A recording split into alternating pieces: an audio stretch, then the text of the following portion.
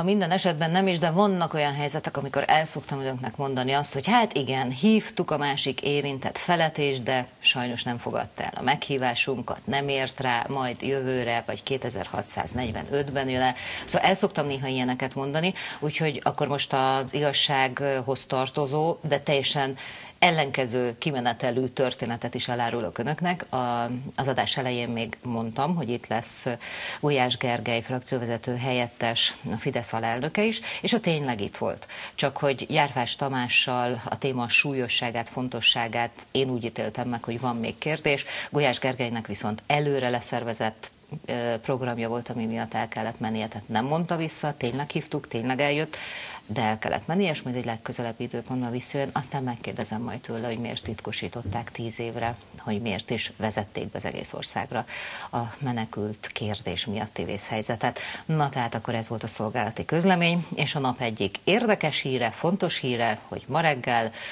Három napos ügyelet után a szocialistáknak nem kellett közelharcot vívniuk az érkeztető gép előtt a Nemzeti Választási Iroda épületében, mert hogy a kúria azt közölte, hogy az ő népszavazási kérdésük az, ami érvényes. Tóbiás József a vendégem, jó estét kívánok! Jó estét kívánok!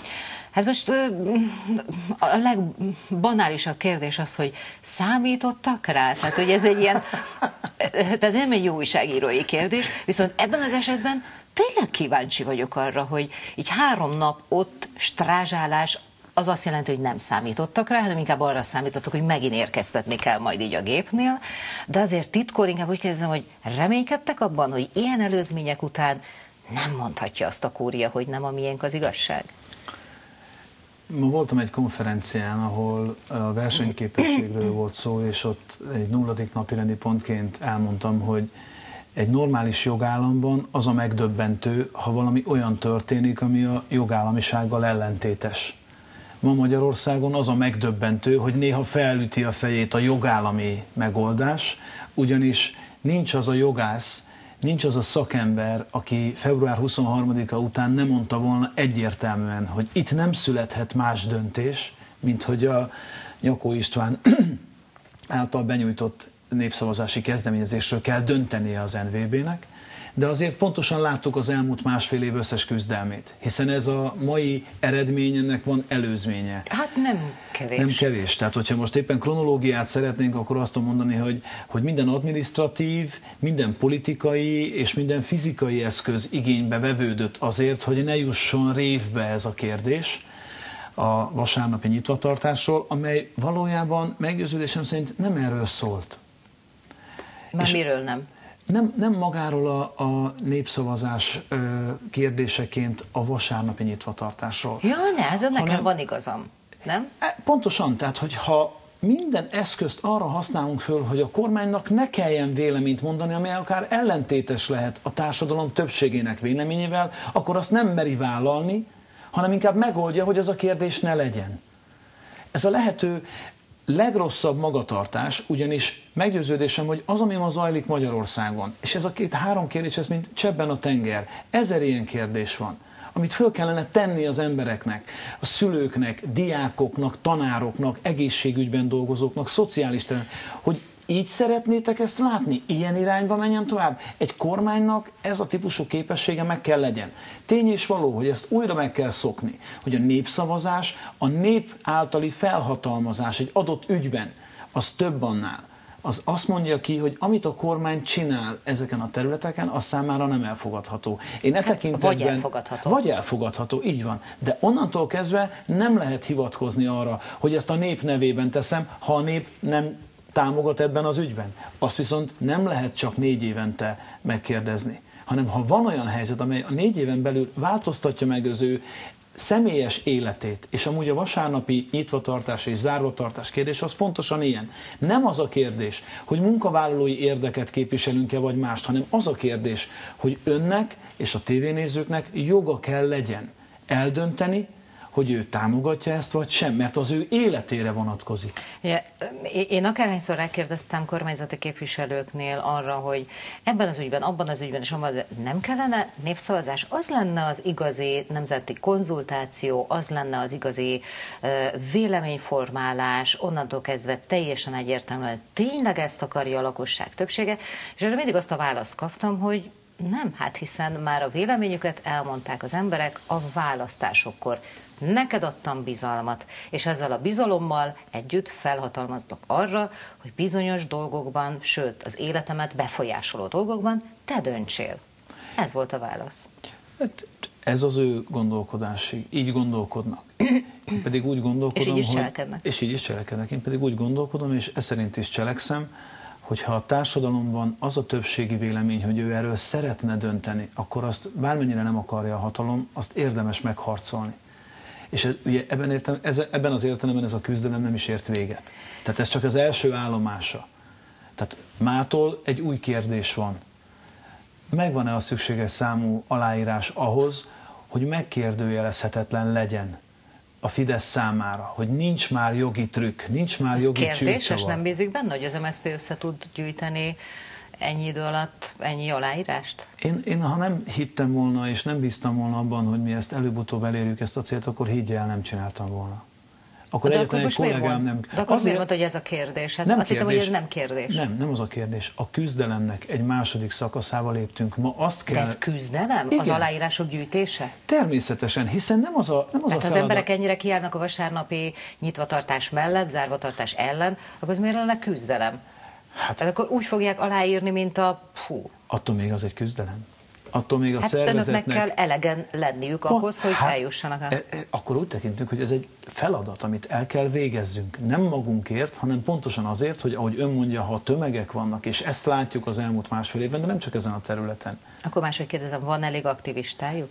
Természetesen, és azt látom, hogy az elmúlt három napban, csak amióta elindult a, a földügyben, és elindult a bérplafon ügyében az aláírásgyűjtés, számos civil szervezet, számos szakmai szervezet, és aktivista jelentkezett, hogy szívesen vállal egy-két-három évet, és segít. És bármilyen fura, nem azt a kérdést teszik fel, hogy azért, mert a föld, vagy azért, mert a bérplafon, hanem azért, mert jogom van arra, hogy dönthessek ezekről a kérdésekről, mert a föld az a miénk, az a magyar állami, azért, mert elfogadhatatlan, hogy én még dolgozom, nincs a munkám megbecsülve, sem anyagilag fizetésben, sem pedig társadalmi megbecsülésben, addig éppen ma arról dönt a kormány, hogy mégiscsak megemeli Matolcsi Györgynek a fizetését, és az állami vezetőknek már meg is tette mindezt. Tehát ez az, ami, ami a valóság, tehát ez a valódi népszavazás. Erről akarnak dönteni. Ha minden sejtésük és sejtetésük, ami az elmúlt másfél évben felmerült és elhangzott, igaz, hogy a rejtélyes civilek, még rejtélyesebb, kigyúrt nagy darab emberek egyszeri együttes akarata a népszavazás kérdésében és hasonló történtek hátterében mind a Fidesz állt, mind a kormány állt, hogy meggátolja a népszavazást a vasárnapi bolcáról, akkor mire számít, hogy most az aláírás gyűjtés, illetve az az összes procedúra, ami egy népszavazás kiírásaig, elleneléséig megtörténik, az alatt a Fidesz tétlenül fog ülni? A mai napnak a sikere az nem takarja el a február 23-ai feketekednek az eseményeit. Tehát hat hét telt el, és hat hét alatt a magyar független sajtó sokkal többet derített föl az ügyből, a személyekből, a hovatartozásokról, a munkájukról, mint azt a magyar ügyészség, a rendőrség, az Alkotmányvédelmi Hivatal, az NVB, az NVI, ugye ezek a választási iroda, a választási bizottság, és a Nemzeti Adat és Információról szóló hatóságnak a vezetője. Hol van a vizsgálat? A kúria döntése után egyértelműnek kellene lenni annak, hogy az NVB politikai többsége nem azt tette, ami amúgy az intézmény létrehozásából, jogszabályi környezetéből fakadóan dolga lett volna. Bocs, a... Bocsánat, csak közben mutatjuk a nézőknek ezt a, ezt a izét. Ez a, mi ez? Az érkeztető ez a automata, érkeztető és automata. Big Brother nézi még a magát a teret. Tehát, hát most már legyen világos. Ez például, hogy ma reggel miért került oda középre? Tehát mitől jobb, hogy középen van, mintha szélen? Tehát így, így körbe lehet támadni? Tehát, hogy akkor nem, nem így mennek oda az emberek, hanem akkor így körbe egyszer, de akkor is csak egy irányból le... Na most nézem, nem, végülis hátulról is be lehet csúsztatni a papírt oda. Mosolyoghatunk rajta, de De ne, de most tényleg még került ez oda. De épp erről van szó. A hatalom olyan törvényeket hozott, hiszen ez a népszavazásról szóló törvény, ez az övék, ez az alaptörvény, ez az övék. Senki más nem támogatta rajtuk kívül. És ehhez képest azok az intézmények, amelyeket ezáltal létrehoztak, azok nem tudják betartani a saját maguk által hozott jogszabályokat, és bármilyen fura, ennek a valaminek, ami hát erről nincs jogszabály. Semmilyen jogszabály nincs. Úgy döntött a Nemzeti Választási Iroda vezetője, hogy ne a érkeztető hölgy irodája előtt legyen tumultus, hanem akkor jelöljünk ki egy teret, ahol lesz a dühöngő, ezért most kijelöltek egy ilyen dühöngőt, és akkor itt kell megvívni azt a csatát, hogy akkor ki fogja hamarabb érkeztetni. Ebben nem ez a kérdés. Ez azért most, hát mondhatom, hogy vicces lett volna, de azért egyetlen nem vicces, hogy ezt a kört ma reggel ugyanúgy az a népes társaság állja körbe, mint február 23-án.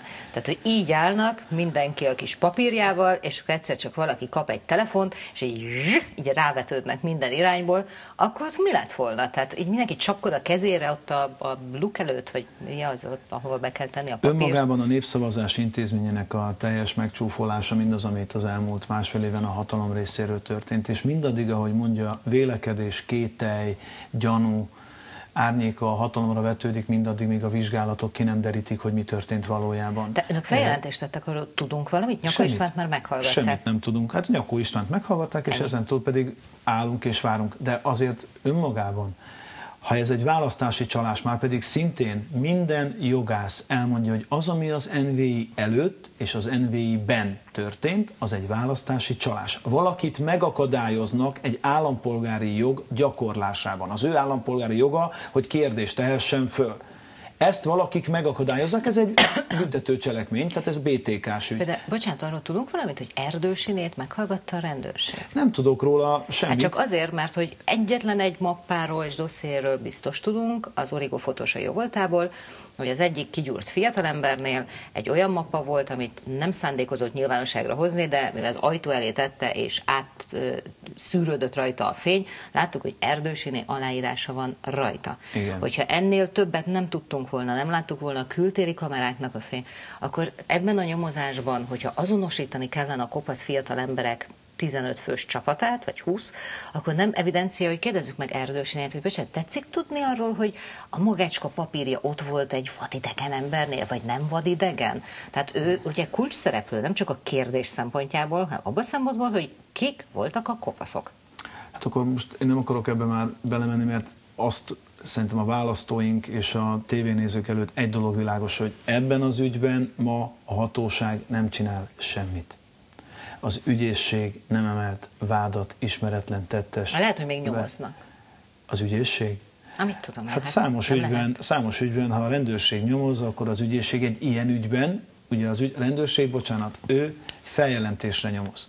Az ügyészségnek hivatalból kellene ezt elvégeznie. A Nemzeti Adatvédelmi Hatóság vezetőjének vizsgálatot kellene folytatnia, hogy hogy lehetett az, hogy az ő engedélyével lehet belépni különben ebben a aulába, hogy regisztráljon az ember, tehát ki kell adni egy úgynevezett engedélyt. Jó, de hát arról Péter Favi Attila nem, tud, nem tehet, hogyha az, ő kiadta az egy szemengedélyt, és azt valaki 4000 példánymal sokszorosította. Nem lehet. A, hát, tudom, hogy nem lehet, de arról ő nem tehet. Nem, nem, de a Nemzeti Választási Iroda az az igazság, hogy ez, már szerintem már az a tévénéző nem érti. Egy dolog az, ami, ami szerintem az abszurdum, és amire, amire nincs válasz. Ma született egy döntés, ennek a döntésnek az előzménye, hogy a Nemzeti Választási Bizottság, a Választási Iroda mindenben igyekezett meggátolni, sőt döntést hozni arról, hogy ez nincs, nem probléma. Ehhez képest a kúria ma döntött. Az igazi kérdés amit ön föltett, hogy akkor ezek a vélekedések megvannak, pedig az az egyszerű summás válasz, hogy bármit tehet a hatalom, nem lehet nem elszámolni ezzel a tettel. Addig az ő szájukon a demokrácia tisztelete ki nem csúszhat, amíg azt nem tudja mondani, hogy megvizsgáltuk, erkölcsi, morális és politikai felelősségem, hogy visszanyerjem a választási intézményekkel szembeni közbizalmat, mert innentől kezdve hogyan lehet majd 2018-ra készülni, ha azt mondják majd, hogy hát most majd más eszközöket fogunk használni. Eddig mentek a beköltözünk, meg oda regisztráljuk magunkat a szavazás napjára, most majd azt fogjuk mondani, hogy megjelennek majd hozzám hasonló kopasz, csak éppen kigyúrt emberek, akik, ami nem úgy néz ki, mint én, és azt fogja mondani, hogy elnézést, kedves Kálmán Olga, most ön ne szavazzon. Hát akkor mindegyiknek azt mondom, maga a Tóbiás, hagyjon engem békén. De nem, nem, nem, hát most a viccet félretéve. Hát ő, a, ő a... Na, mondom az önök kérdését, mert ugye azt, Igen. azt próbáltuk kitalálni, hogy a Fidesz, illetve én azt kérdeztem, hogy ön szerint ha minden sejtésük igaz, hogy az elmúlt másfél évben a Fidesz állt az összes megtorpedózás hátra, akkor, még, akkor most ölbetett kézzel fognak-e ülni. Egyetérte ön azzal, hogy az országgyűlés semmisítse meg a kiskereskedelmi szektorban történő vasárnapi munkavégzés tilalmáról szóló 2014-es évi 70-es törvényt. Ugye ez a kérdésük. Igen. Mi van akkor, én, én erre gondolom, mi van akkor, hogyha a népszavazás elrendelésig, kírásáig el tartó időszakban ezt a törvényt megsemmisíti a Fidesz. És hoz helyette egy másikat, ami ugyanúgy, csak mondjuk nem teljes egészében ugyanígy korlátozza a boltoknak a nyitvatartását. Ha lesz majd egy négyzetméter, vagy a kis ablakú, vagy a nagy ablakú boltok nyitva lehetnek, vagy a rácsos ajtós, de az már nem ugyanez a törvény lesz, és okafogyottá válik a népszavazás. Megmondom őszintén, hogy ebben az értelemben nem tudok gondolkodni a Fidesz fejével, tehát az, hogy a Fidesz mit fog lépni, nyitva van most a, a népszavazásról szóló törvény, kell benne lefolytatni egy nagyon komoly vitát. Én azt mondtam ma is, és ezt is képviselem, nem tud mit tenni a népakarattal szemben a Fidesz. Nem tud. Tehát addig, amíg administratív vagy fizikai eszközökkel igyekezett korlátozni, és ma úgy döntött a kúria, egy dolga van tudomásul venni, és kettő, hogyha mer, nem látom még, akkor mondja el a maga álláspontját, hogy ez miért jó. Mi pedig azt akarjuk elmondani, hogy nem az, hogy miért jó, hanem hogy önnek és kb. 8 millió állampolgárnak, kicsit többnek joga van dönteni arról, hogy ő szeretne ilyet. Semmi más nem szeretné. Fogunk még erről beszélni. Köszönöm szépen, Köszönöm szépen. Volt.